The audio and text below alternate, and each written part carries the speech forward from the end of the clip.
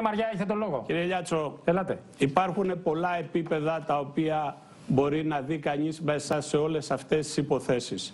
Πρώτα απ' όλα η ελληνική κοινωνία πραγματικά βλέπει αυτή τη στιγμή όχι μόνο στην καταγγελόμενη υπόθεση Λιγνάδη αλλά και σε άλλες υποθέσεις που είχε καταγγείλει η κυρία Μπεκατόρου και όλα τα άλλα Ναι, ναι. την βία η οποία ασκείται αυτή τη στιγμή σε πάρα πολλά επίπεδα.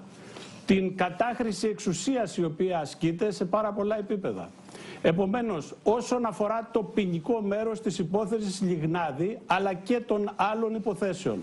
Αυτές έχουν πάει όσες πήγαν στη δικαιοσύνη. Ναι. Η δικαιοσύνη θα προχωρήσει και πρέπει να προχωρήσει ανεπηρέαστη και θα εκδώσει αποφάσεις.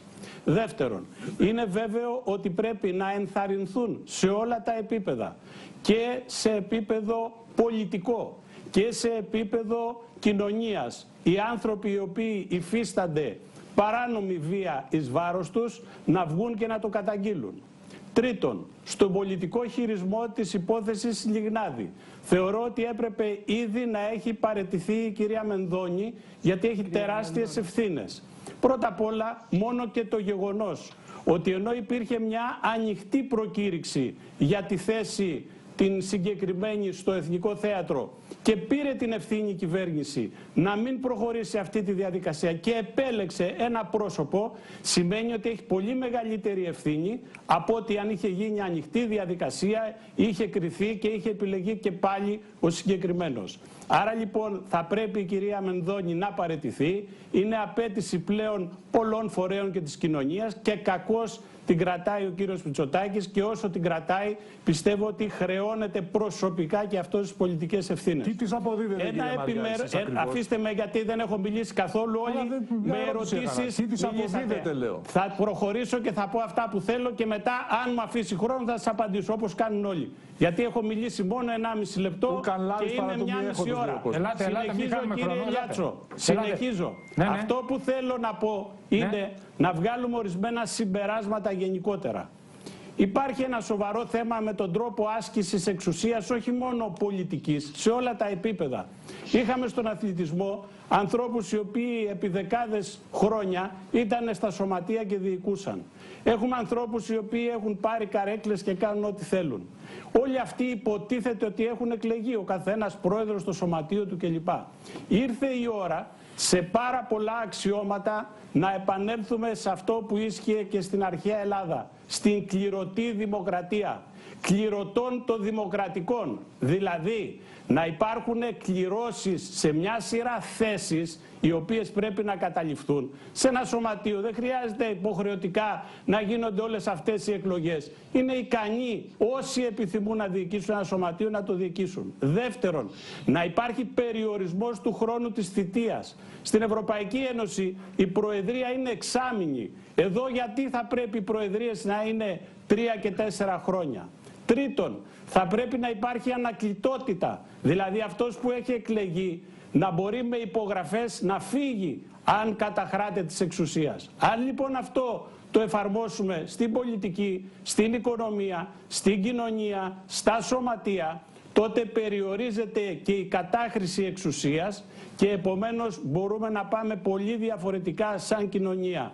Ποια είναι η πολιτική βία κύριε Λιάτσο που ασκείται, λέω παράδειγμα, στα μικρά πολιτικά κόμματα όπου ο μόνος που μας καλεί εμένα προσωπικά και το κίνημά μας είστε εσείς και όλοι οι άλλοι μας έχουν αποκλείσει. Αυτό είναι δημοκρατία, αυτό δίνει τη δυνατότητα της ελεύθερης έκφρασης; Υπάρχει λοιπόν άσκηση πολιτικής βίας σε εισαγωγικά, υπάρχει κοινωνική βία, υπάρχει οικονομική βία, υπάρχουν εργαζόμενοι που δεν τολμούν να καταγγείλουν καταστάσεις στην εταιρεία διότι θα απολυθούν. Άρα λοιπόν πρέπει η κοινωνία να αλλάξει σε επίπεδο δομών, Μάλιστα. να μπούμε σε άλλες διαδικασίες και τέλος σε σχέση με τον ποινικό νόμο και τον ποινικό κώδικα πράγματι ήταν απάβγασμα πολλών σ- ποινικολόγων και καθηγητών πανεπιστημίου. Όμως η εφαρμογή του πλέον και τα όσα βλέπουμε αποδεικνύουν ότι και οι συνάδελφοι αυτοί εκτίμησαν λάθος. Εκτίμησαν λάθος τις καταστάσεις και ως εκ τούτου πρέπει να αυστηροποιηθούν οι ποινές, πρέπει να δούμε τα θέματα των παραγραφών και είναι ευκαιρία να ξαναδούμε όλα τα ζητήματα στην κοινωνία. Γιατί όταν τα ξαναδούμε Μάλιστα. τα ζητήματα στην κοινωνία, μπορούμε να αντιμετωπίσουμε Έλα, τα Διαμαντή. πράγματα διαφορετικά. Για- για ακούς ένα Έχω κάνει μια ερώτηση. ερώτηση. Τώρα, Ένα ερώτημα. ε, να ακούσω το ερώτημα. Ε, ποια ακριβώς είναι ε, τα στοιχεία που προσάρτεται στην κυρία Μενδώνη και τη ζητάτε την παρέτησή της; Είπατε μέχρι τώρα, αν κατάλαβα καλά, ότι δεν έκανε το διαγωνισμό για, την, ε, ε, ο- για τον ορισμό του καλλιτεχνικού διευθυντή, αλλά επέλεξε τον ε, κύριο Λιγνάδη.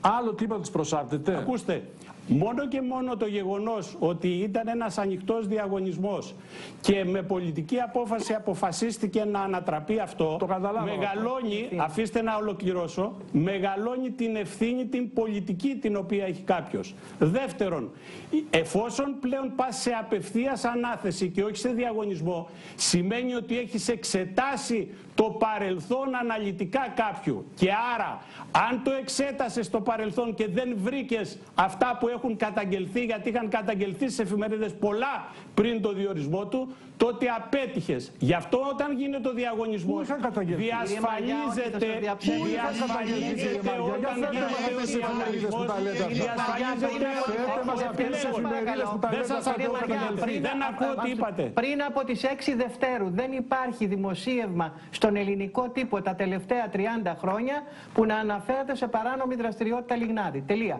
Μάλιστα. Να Λοιπόν, είμαστε σωστοί. Και Λοιπόν, στις 6 από εκεί Φεβρουαρίου, και για να είμαστε πέρα, απολύτως η- σωστοί, Ελένη μου, ήταν μόνο φήμες. Δεν Όχι, όχι, ήταν όχι. ονοματισμένες. Παρακαλώ πάρα πολύ. Λοιπόν, έτσι η είναι. Έλενα, η, ακ- η συνάδελφος είναι. Έλενα Κρήτα και η συνάδελφος Ναταλή Χατζιαντονίου Ναι. βγήκαν με δημοσιεύματα σε συγκεκριμένο site όπου υπήρξε συνέντευξη προσώπου πραγματικού με τα αρχικά του, γιατί δεν ήθελε ο ίδιος. Ναι, κύριε- το οποίο κυρία περιέγραψε Οπότε μπορώ να, το γεγονός. μπορώ να ολοκληρώσω κύριε Σπανοπούλου. Γιάτσο. Αυτό δεν Έλα, μπορεί κύριε να Μαριά, είναι ολοκληρώστε. ποινική. Ολοκληρώστε. Μπορώ να ολοκληρώσω. Ολοκληρώστε, Λέω ναι. Λοιπόν, Ναι. λέω λοιπόν και συμπέρασμα στους πολιτικούς. Έλα. Εάν ήταν ανοιχτός ο διαγωνισμός, θα είχε και την ευκαιρία να δοθούν και άλλες υποψηφιότητες. Όταν λες προφανώς. καταργώ τον ανοιχτό διαγωνισμό και επιλέγω έναν συγκεκριμένο, παίρνεις τεράστια ευθύνη ακόμη και αν δεν έχεις πολλά στοιχεία. Μάλιστα. Σαφές. Γι' αυτό λοιπόν κάτι λέω άλλο, κύριε ότι Λιάτσο. αυτό το ζήτημα... Κύριε εκ- Λιάτσο, αν αφήστε με μπορείτε να να- ολοκληρώσω. να- να τονίσω κάτι. Τελειώνω μισό λεπτάκι. Τελειώνω. Δεν... Ναι. Άρα λοιπόν, συμπέρασμα, με τον ανοιχτό διαγωνισμό διασφαλίζεσαι, ενώ με την ανάθεση παίρνεις και ένα ρίσκο επιπλέον. Ευχαριστώ και από πολύ. εκεί και πέρα Κύριε δεν Γιάτσο. έκανε τις Κύριε Μαριά. κινήσεις αμέσως κατά τη γνώμη μου και θα έπρεπε να κάνει άμεσες κινήσεις Πολύ την σαφείς έκτη είστε. του μηνός. Κύριε Ρώτησα- Καπ- θα σας δώσω, Ρω- κύριε Τριανταφυλλίδη, το λόγο θα σας τον δώσω